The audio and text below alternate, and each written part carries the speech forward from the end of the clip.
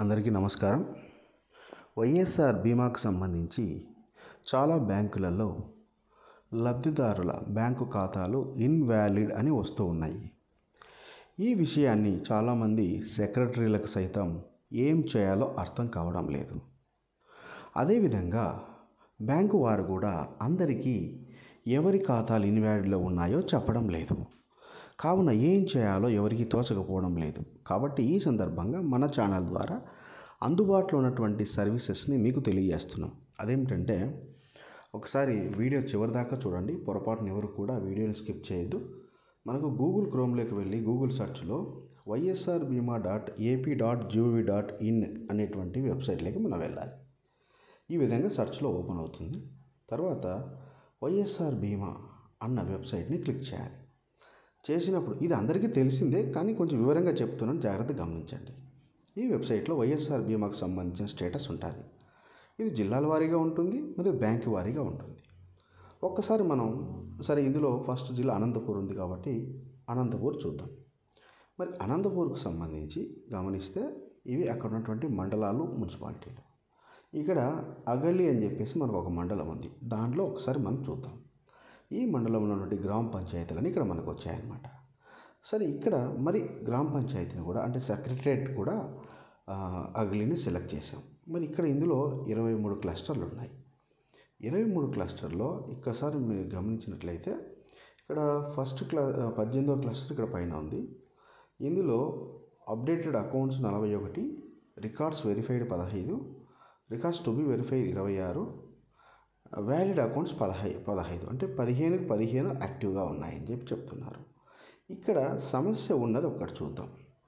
సమస్య ఎక్కడ ఉంది? అన్నీ కూడా హండ్రెడ్ పర్సెంట్ ఇక్కడ చూడండి మూడు వందల ఇరవై కానీ మూడు వందల పంతొమ్మిదే వ్యాలిడ్ అకౌంట్స్ ఉన్నాయి. ఎక్కడో ఒకటి తక్కువ ఉంది. ఒకటి ఎక్కువ ఎక్కడ ఉంది? చూద్దాము. దాన్ని చూస్తే తప్ప మనకు అర్థం కాదనమాట. ఓకే ఇక్కడ మూడుకు మూడు ఉన్నాయి. ఇరవై నాలుగు ఇరవై నాలుగు కింద నుంచి వస్తున్నాము. నాలుగుకు మూడు ఉన్నాయి అనమాట చూడండి ఇరవై క్లస్టర్లో ఒకటి ఇన్వాలిడ్ అకౌంట్ ఉంది. కాబట్టి మీరు ఆ క్లస్టర్ని క్లిక్ చేయండి. ఇక్కడ చూడండి రెడ్ మార్కులో ఇన్వాలిడ్ అకౌంట్ ఎవరిదో క్లియర్గా ఉంది. అక్కడ బ్యాంకు పేరుతో సహా నీట్గా ఇన్వాలిడ్ వివరాలు ఇవ్వడం జరిగింది. కాబట్టి వాలంటీర్లు కానీ సంబంధిత సచివాలయ సిబ్బంది కానీ ఆ యొక్క బ్యాంక్ని సందర్శించి ఆ యొక్క వ్యక్తి అకౌంట్ యాక్టివేట్ చేయించాలి. సమస్య ఏంటో బ్యాంకర్ని అడిగి తెలుసుకున్నట్లయితే ఆ ఇన్వాలిడ్ అకౌంట్ని వ్యాలిడ్ అకౌంట్గా మార్చినట్లయితే వారికి ప్రీమియం డబ్బులు పడడం జరుగుతుందన్నమాట. ఈ విధంగా ప్రతి సచివాలయ పరిధిలో కూడా ప్రతి క్లస్టర్లో ఎంతమంది వాలంటీర్లు ఈ యొక్క దరఖాస్తు చేశారు? వైఎస్ఆర్ బీమా కోసం అందులో ఎంతమందికి ప్రీమియం డబ్బులు పడ్డాయి ఎంతమందికి పడలేదు ఎన్ని వ్యాలిడ్ అకౌంట్స్ ఎన్ని ఇన్వాలిడ్ అకౌంట్స్ ప్రతిదీ ఉందన్నమాట.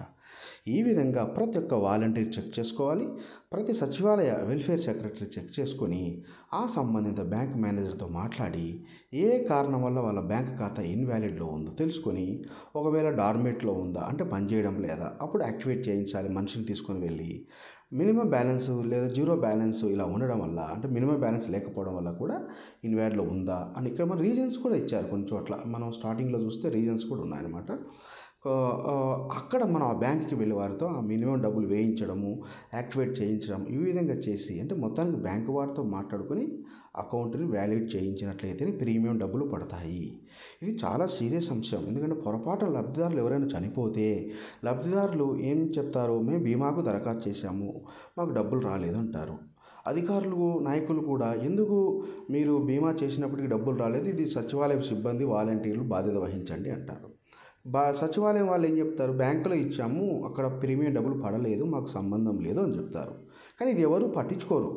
సచివాలయ సిబ్బంది పాత్ర ఏంటంటే ప్రీమియం డబ్బులు పడేంత వరకు లబ్ధిదారులకి గైడెన్స్ అనేది ఇవ్వాలి. ఇవ్వకోకుండా దాటవేయడానికి ఎవరు ఒప్పుకోరు. ఆ డబ్బులు చేతికుండా కట్టాల్సి వస్తుంది కాబట్టి ఇటు వాలంటీర్లు ఇటు సచివాలయ సిబ్బంది అక్కడ వెల్ఫేర్ ఒక్కరే కాదు అందరూ కూడా ఈ విషయం పట్ల సీరియస్గా పనిచేస్తేనే ఇది సాధ్యమవుతుంది. లేకపోతే ఒకరి మీద ఒకరు వేసుకున్నట్టయితే నష్టపోయేది లబ్ధిదారులు. ఆ నష్టాన్ని లబ్ధిదారులకి సచివాలయం వాళ్ళే కట్టించాల్సి రావచ్చు చెప్పలేం. ఇది కన్ఫర్మ్ కాకపోవచ్చు కానీ మొత్తానికైతే అధికారులు పట్టుబడితే కట్టాల్సి వస్తుంది అనమాట ఎందుకంటే లబ్ధిదారులు నష్టపోవడానికి ఎటువంటి అవకాశం లేదు. లబ్ధిదారులు తప్పేం లేదు కదా ఇందులో. కాబట్టి సచివాలయం వాళ్ళందరూ యాక్టివ్గా ఉండి ఈ యొక్క సర్వీస్ని ఉపయోగించుకొని అందరిది కూడా వ్యాలిడ్ అకౌంట్స్గా మార్చి ప్రీమియం డబ్బులు పడేటట్లు చేస్తారని ఆశిస్తున్నాను. ధన్యవాదాలు.